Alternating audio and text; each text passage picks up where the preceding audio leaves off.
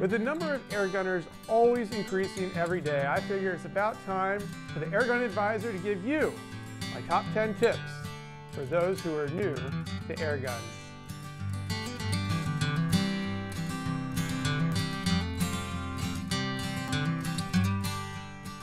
Welcome back to the Airgun Advisor. And before we get going on with these top 10 tips for new airgunners, I want to say thank you to each and every one of my subscribers out there you have helped my numbers climb up to 596 at the making of this video. If you have not subscribed yet, please make sure you do so. That means an awful lot to me.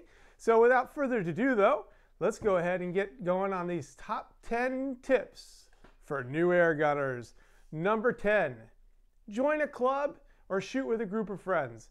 There is nothing more enjoyable than learning from the experience of others and not to mention the opportunity to shoot a variety of air guns that your friends or club members have. It's just a great opportunity, and if there is no club or no group, try starting one for yourself. You'll be surprised at how many air gunners come out of the woodwork. Number nine, find free targets. Every year here in the United States of America, we have the privilege of being able to vote. And with voting, come political signs. And those political signs at the end of the election season get thrown in the trash. Well, don't throw them in the trash. Recycle them. Take them down to your range, collect them on the side of the roads if you have to, get a stack of them, slap some stickers on there, and they are the perfect target for you at the airgun range. Number eight, stick to one caliber. Guys, I know that you're going to want to try a 25 caliber, a 22, 177, and maybe even some of the big bores. But when you first get into the hobby, stick with one caliber because you know, in order to find that perfect pellet, you're going to have to buy a lot of pellets. And if you stick with one caliber, that means you have your sample size ready to go each and every time you get to the range and each and every time you have a new air gun. Number seven, buy wisely. Do not pay attention to all the markings on those airgun boxes from the big box stores that advertise 1,000 feet per second, 1,200 feet per second. Who cares? The airgun sport is about accuracy. And at 1,000 feet per second, 1,200 feet per second, you may not be accurate, not to mention the manufacturers are using the lightest pellets possible to inflate those numbers. And don't be afraid to buy used. Guys, the used market for airguns is strong and there is so many great opportunities to buy quality air guns at a discounted price. Just make sure you do so carefully if you're buying online from one of the forums. Number six. Guys, you heard this from your teachers growing up. Read. There is so much literature out there, whether it's in the form of going online and reading about the forums or blog posts, or even here in the United States, we have our own airgun magazines. This one happens to be Airgun Hobbyist. It comes out quarterly. Subscribe. Also, check out Hard Air Magazine. This one uh, is a book by Stephen Archer. All right, this one's about the gauntlet, but it's produced by Hard Air Magazine, which is an online periodical with articles that come out weekly. So go check them out online. Also, visit your bookstore. You might be surprised at all the European magazines that come in that cover air guns. Number five, get good tools. I've been talking to all of my friends in the airgun world, and they say the number one thing that they don't like about buying used air guns is when someone boogers up the screws using Craftsman or big box hardware store type screwdrivers. Get a good set of hollow ground screwdrivers and use them on your air guns whenever you perform maintenance. Number four, take good care of your air guns, guys. Every time you use them, especially some of the nice blued air guns, wipe them down with some REM oil or CLP.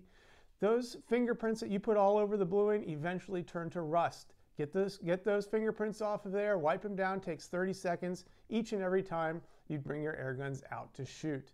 Also, if you're losing accuracy, you might need to clean that barrel. It is true that air guns don't need the kind of maintenance that a, uh, a typical firearm might need, but barrels do get dirty and the best tool that I found for that is the patchworm and those are available online and available in different calibers as well so make sure you order the right caliber for your air rifle. Number three, buy good glass. And what am I talking about by glass? I'm talking about scopes. if you want accuracy, you're going to need good glass. Now, what's a, this isn't a hard and fast rule, but think of purchasing a scope that's about one third of the cost of the air gun that you're shooting with.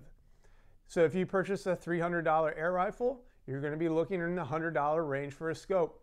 If you are purchasing a $1,000 air rifle, you're looking at the 300 to $400 range scope and higher. So buy good glass, buy the best glass that you can afford, and you will be surprised at how much uh, enjoyment that scope can bring to your shooting. Number two, find exciting targets, guys. These could be things like eggs, paintballs. We set those up on tees out at 50 yards. The eggs explode, wafer cookies, and don't be afraid to invest in some high quality targets either. You can see that my collection is quite extensive and those have been some of my best purchases because I can use those targets over and over and over again. And when my friends come over and I'm trying these different air guns, it's just a lot of fun to do. Which brings me to my number one tip for new air gunners. And this is where I'm relying on you, the viewers. Not all of you watching this video are new to air guns. So what's your number one tip? I've given you some good ones, but I'd like you to list those in the comments below and help other air gunners out. Give them some tips, some advice, whatever you think is necessary.